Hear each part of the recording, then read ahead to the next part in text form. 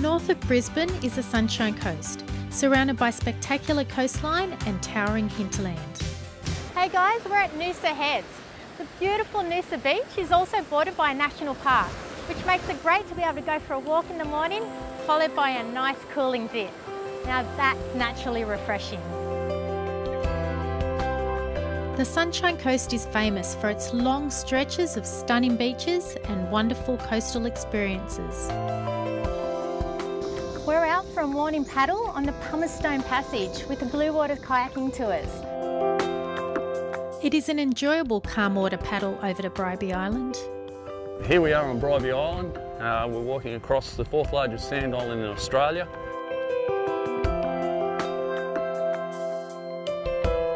The island also has a diverse range of wildlife. One of the amazing things about this area is we actually have more bird species here than in Kakadu. So we have a huge number of species of birds.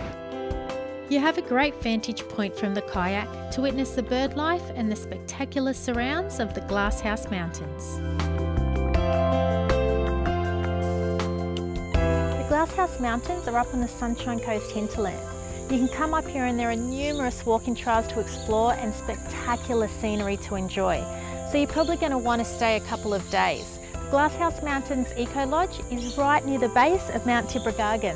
Great views and it's just easy to be able to get straight on to some walking trails from here.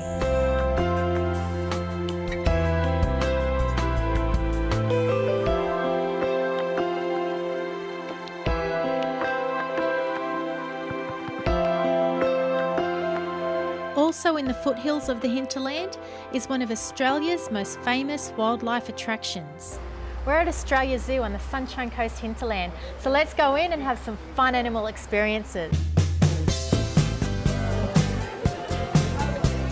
That's one cute hungry elephant. Now I've done a lot of things, but walking a wombat, this is a unique experience. This is little Franklin. He's a little 10 month old Tasmanian devil. Look how gorgeous that face is. So there we go. She did really well. She didn't hurt him same time.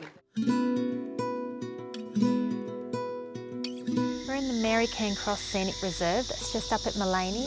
You can come for a walk through the rainforest here which is really nice and you can even see some rare species of plants as well.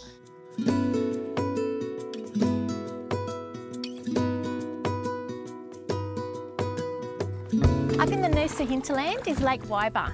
You can actually come up here and stay at Eumarella Shores and use their canoes to go for a paddle into the lake. It's just really beautiful and relaxing out here.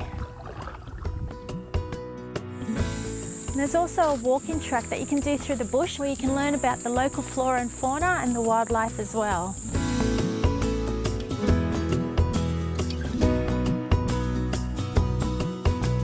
The Sunshine Coast is a great place to escape and soak up the natural elements all around you, and your time here will leave you feeling naturally refreshed.